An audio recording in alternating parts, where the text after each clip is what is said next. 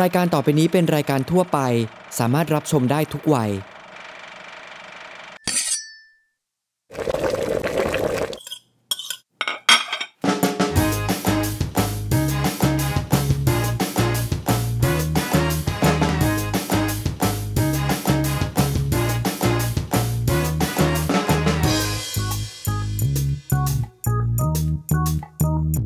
มาเข้าครัวทำมายองเนส whole grain มัสตาร์ดแยมสตรอเบอรี่และเนยถั่วกันเถอะ กับ CIY Spread อร่อยต้องปาดขอบอกเลยว่าใครๆก็ทำได้ ไม่ยากอย่างที่คิด ไปอร่อยแบบทั่วแผ่นกันเลยดีกว่า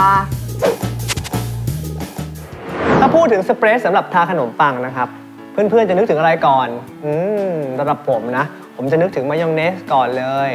วันนี้จะมาทำโฮมเมดมายองเนสแต่จะไม่ธรรมดา เพราะเราจะทำเป็นมายองเนส whole grain มัสตาร์ดนะครับ รับรองว่าต้องหอมอร่อยอย่างแน่นอน เดี๋ยวไปทำกันเลยสองสิ่งหลักวัตถุดิบหลักของมายองเนสก็คือไข่แดงกับน้ำมันนั่นเองนะครับ งงใช่ไหมครับ นั่นแหละครับมายองเนสที่เราชอบกิน ส่วนผสมประมาณ 90%คือน้ำมันนั่นเอง วันนี้เราจะใช้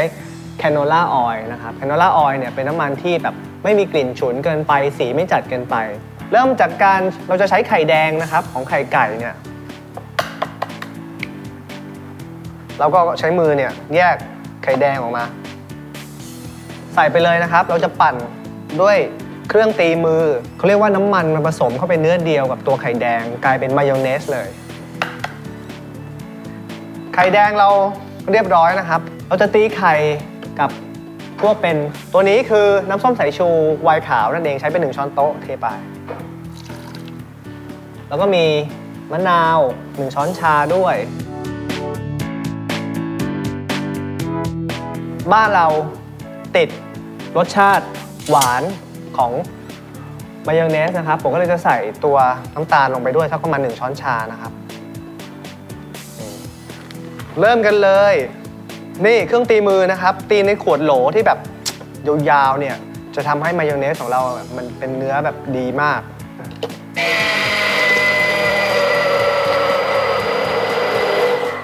ข่เนี่ยจากสีแบบส้มเข้มค่อยๆ เปลี่ยนสีเป็นสีอ่อน จังหวะนี้ค่อยๆเทน้ำมันใส่ วิธีการก็คือว่าเราจะเทค่อยๆ เทแล้วก็ตีผสมกัน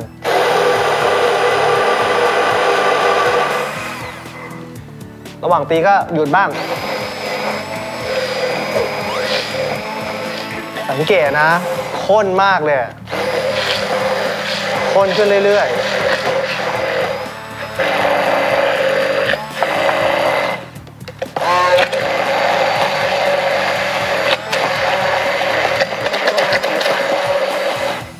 หลักการนะครับก็คือ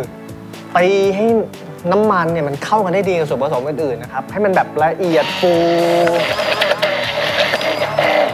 นี่มายองเนสของเราวิงนี่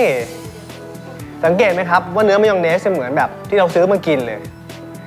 ถ้าเพื่อนๆไม่มี hand mixer ทำไง ใช้ตะกร้อตี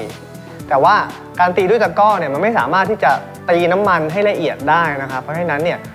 มายองเนสที่เพื่อนด้วยตีด้วยมือเนี่ย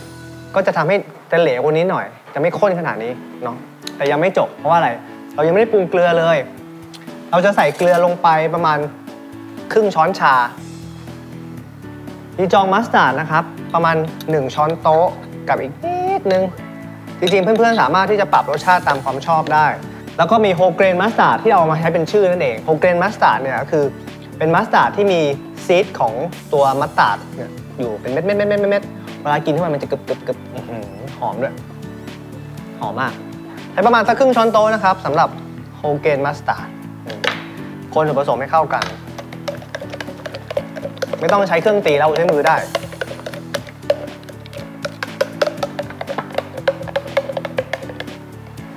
ชิมก่อน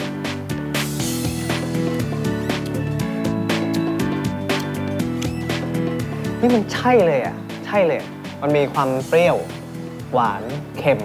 พอดีเลย เป๊ะๆที่สำคัญหอมมัสตาร์ดทั้งแบบ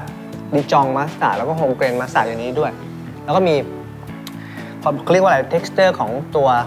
whole grain อยู่ในกึบๆ นิดๆ สุดท้ายเลยสุดท้ายก่อนเสร็จพริกไทยเพิ่มความหอมลงไปนิดนึง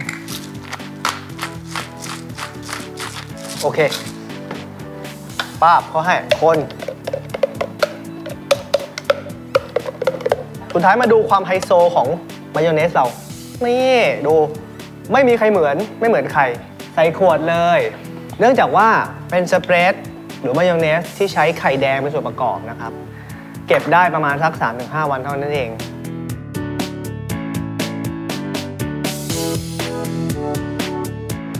วันนี้นะครับ ผมจะเอามายองเนส whole grain มัสตาร์ดของเราเนี่ยโฮมเมดเพิ่งทำใหม่ ๆ มาทำแซนด์วิชนั่นเอง BLT เป็นแซนด์วิชที่นิยมมาก ๆ BLT มาจากอะไรเอ่ย มาจาก bacon tomato แล้วก็ lettuce นะครับ เบคอนนี่เลยปั๊บมะเขือเทศนี่เลย แล้วประกอบด้วยสุดท้ายนะครับ ก็คือ lettuce หรือว่าผักกาดของเรานั่นเองเป็นผักสลัดนะครับ เตรียมทุกอย่างให้เรียบร้อยนะครับ เอาขนมปังที่อบมาใหม่ ๆ นะครับ ทาด้วยมายองเนสโฮเกรนมัสตาร์ดประกอบทุกอย่างปื๊บปื๊บปื๊บปิดกินทันทีรับรองอร่อยเด็ดแน่นอน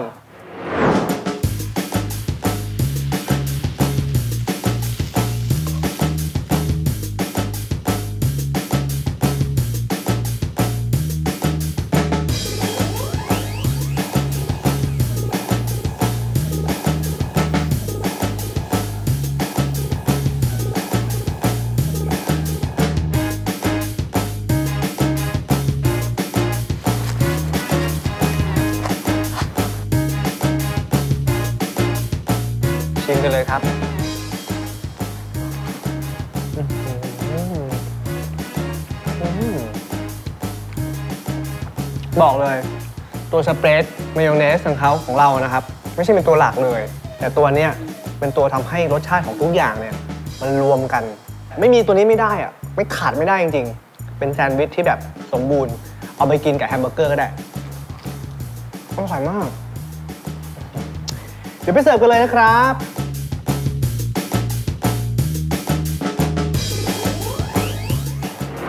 มาปาดหน้ากันแบบหวานๆกันบ้างกับแยมสตรอเบอรี่ช่ำเนื้อผลไม้สุดๆ เก็บใส่กระปุกอร่อยนานได้อีกด้วย ช่วงหน้าห้ามพลาดนะครับ